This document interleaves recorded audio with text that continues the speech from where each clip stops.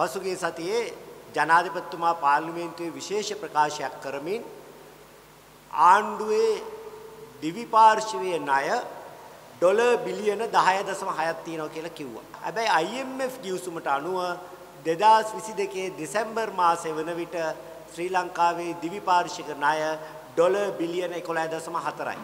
ඒ කියන්නේ IMF ගිවිසුමට වඩා පාර්ලිමේන්තුවේ කිව්ව ඉලක්කම ඩොලර් මිලියන 800කින් අඩුයි. ඒ වගේම ජනාධිපතිතුමාගේ ප්‍රකාශයේ ආණ්ඩුවේ වාණිජ ණය තියෙනවා කියලා කිව්වේ ඩොලර් බිලියන 14.7යි. හැබැයි IMF ගිවිසුමට අනුව ඒක ඩොලර් බිලියන 16.5යි.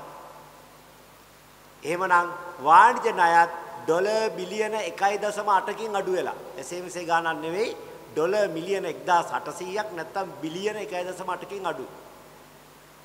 2022 දෙසැම්බර් සහ 2024 ජූනි අතරතුර කාලය තුලදී අපි විදේශ ණය ගෙව්වෙත් නැත්තම් ඩොලර් බිලියන ගණනින් විදේශ ණය අඩු වුණේ කොහොමද? ඒක වෙන්න බැරි වැඩක්.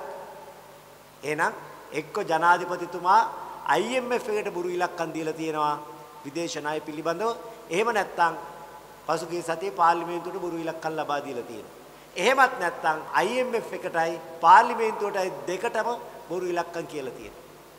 ඇත්තටම අපේ විදේශ ණය කොපමණද ජනාධිපතිතුමා බොරු කිව්වේ කාටද කියන එක රටට හෙළි කිරීම ජනාධිපතිතුමාටම බාරයි.